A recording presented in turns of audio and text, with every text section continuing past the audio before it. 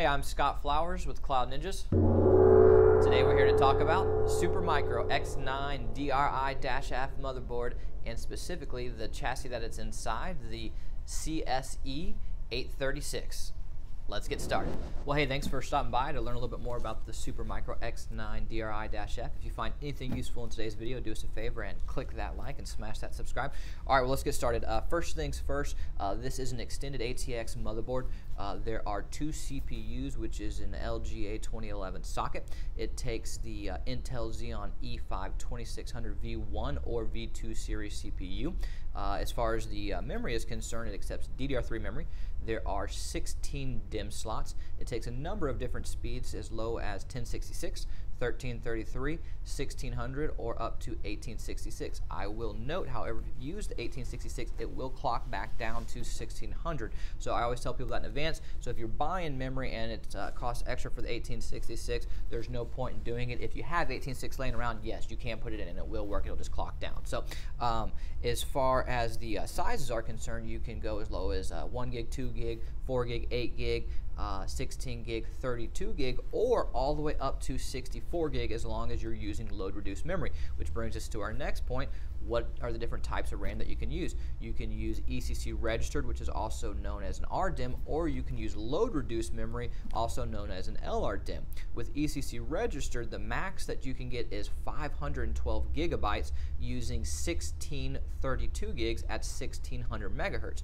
However, with load reduced, you actually get double the capacity and you can get um, one terabyte using 1664 gigs, again at 1600 megahertz. Uh, okay, now that we know a little bit more about the machine itself, um, or sorry, now that we know a little bit more about the memory itself, um, I want to show you about the, uh, the channels inside, how to uh, properly load it and configure it. But before we do, I'm going to grab my ESD gear. Really, you never want to be inside a machine without ESD gear. You always have the potential to shock it and damage it, so I'm going to grab my gear and I'll be right back. All right, now that we have our ESD gear on, we are safe to open the machine and prevent it from electrostatic discharge. First things first, just going to push these two tabs down, slide it back, pop the, the top open. Very, very simple. All right, uh, you will notice that uh, there's an air baffle uh, that basically is preventing entry to uh, the CPUs and to the memory modules. So the first things first is we're actually going to remove these two fans back here. So there's a little tab right here, just going to slide it over and lift straight up. And you'll notice on these, there's actually a connector down here so you don't have to actually worry about uh, any cables when you're pulling these out, which is nice uh, because, like I said, there's a little connector down there. So uh, once we've removed the two fans, you can now uh, pull the uh, air baffle up. And it is a little snug. Oops, there we go. Uh, so now that we've got the air baffle up, we have access. Okay, so this is CPU 1, and CPU 1 controls the 8 DIMM slots over here. This is CPU 2, and CPU 2 controls the 8 DIMM slots back here. Um, if you look deep in here, which you won't be able to see on the camera, everything is actually labeled, which is very helpful. Uh, so as far as um, uh, the actual channels are concerned, uh, you'll notice that there are, as we said, 8 DIMM slots per CPU, which means there are 4 memory channels per CPU, and there are two DIMM slots per memory channel. And this is really important because with uh, uh, DDR3 ECC registered, um, you would run into the rank rule if it was three DIMMs per uh, memory channel, which a lot of, um, of the, the HP and Dells that are uh, compatible with this uh, from this uh, general generation run into that issue. Luckily with Supermicro, uh, they had some foresight and they uh, made the bulk of their machines uh, two DIMMs per channel. There are some exceptions to that rule, don't get me wrong, but most of them seem to be two DIMMs per channel. So anyhow, the first channel is over here. This is A1. The next channel is B1. So you'll notice the blue slots are the start of the channel. Over here, this is C1 and then D1.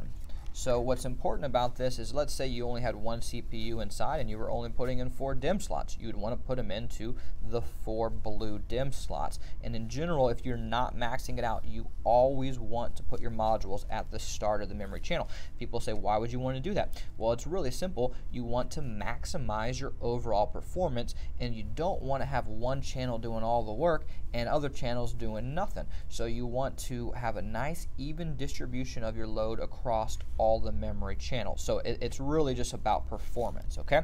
Um, and then if you come down over here, uh, same thing, you're going to have uh, E1, F1, G1, H1. So all the blue uh, tabs are the or all the blue slots are the uh, the start of the memory channel. So if you had two CPUs and you were putting in eight DIMMs, you want to put them in all the blue. So I know I sound like a broken record and I'm saying it over and over, but the start of the channel is the way that you want to install it. That's just the best way to maximize the performance of your machine. Okay. Um, so what we actually have here are some very expensive 64 gig uh, DDR3 LR DIMMs um, that we're going to use to max this machine out and actually put in uh, one terabyte before we send it off to our customer. But before we get going and installing them, I wanted to note you will see right here there is a notch in the middle of the memory module also known as a key. This key is very important because when you insert the module you'll notice the key is not perfectly in the center. So if you have it uh, misaligned you could potentially damage the DIMM uh, hurting the, um, the leads or even worse you could damage the motherboard which means you might have to replace the motherboard because if you try to shove it in uh, there's a little plastic notch uh, inside of the, the uh, DIMM so uh, socket and if you were to break that, you could break the DIMM socket, uh, rendering it useless, which then at that point, a lot of times you're just going to have to, to either skip over it or replace the motherboard. Again, nothing that, that you, not situations you want to run into. So um, as far as just aligning it properly for us, it's going to be like this. And I will note it does flip-flop. So when I go um, over to uh, this side of the CPU, it's actually a different way. So this is very, very important, and it's uh, really common as well for it to go back and forth, um, but it's something I always tell people to watch out for. So uh, next thing you'll notice, I've put the module down. It's, it's uh, in the socket, but it's not really in the socket because it's not properly seated. And a very common user error that we run into all the time is someone thinks that they have a bad DIMM, and really the DIMM is not fully seated. And it's a really common user error. I tell people all the time, I don't care if you've been doing this 20 years and you, you've been a technician for a long time, or this is your first day on the job, we all do it. We've all made this mistake. So just make sure you hear these two clicks right here. You're going to make sure it's fully inserted. Click one, click two. So what that did is it made sure on the side here that the, uh, the, the tabs grab these notches and physically pull the leads into the socket. And actually this is another point that I was about to do. I always tell people it's a nice tip is to uh, make sure all of your uh, tabs are fully open. I went to go install that right there, and the tabs would have actually been preventing me to uh, install it. And just little things like that. You don't want to do that while you have uh, a memory module um, in your hand, and you, you might potentially drop it. Uh, all these are just you know little little tips that I recommend just to make your life easier and prevent any potential user error because we all make mistakes and none of us are perfect, right? So that being said, you just want to take a little bit of time and a little bit of precaution to make sure you do it right and prevent any errors, okay? So now that we got this first side done, I'm going to go ahead and fast forward, but I do want to note again, you need to flip it as far as the direction over here on this side. And just like that, we've installed one terabyte of RAM, uh, this machine is going to get a huge boost in performance. Uh, when it originally came in, it, it, only had 128 gigabytes total. So you can imagine going from 128 to one terabyte. Uh, it, I mean, it's just going to be a, a, huge, huge boost. Um, and that's one of the things that that we always tell customers. Um, if uh, you so the, the, X9 is really not that old. Um, I understand X12s are coming out. Um, X11s are already out right now. Um, X13s are around the corner. Um, you know, I, I, get all that. Uh, there's a lot of really great systems that are coming out, but they're expensive. And so, um, if this is doing everything that you need it to do, but maybe just a, a little bit slow for whatever application you're using it for, the best band aid and what we always recommend is upgrading the RAM just a quick upgrade to the RAM.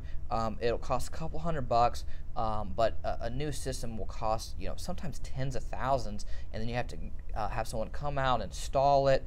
Um, you know, remap everything. It, it, it it's a, a, lot that goes into getting a new server. So personally, uh, I'm a big fan of upgrading what you have, um, as long as you can make it work. Of course, if it's time, it's time. But if you're if you're ready to just uh, continue to use this, I always say it, man. Upgrade the RAM. That's that's the way to go. You'll you'll just get such a big boost. So anyhow, now we're gonna put it back together. We're gonna uh, drop the uh, air baffle in.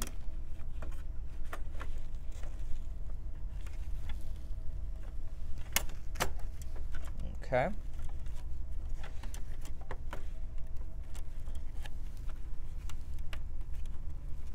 And then we're going to put the uh, fan modules back in and they're just going to slide and click into place.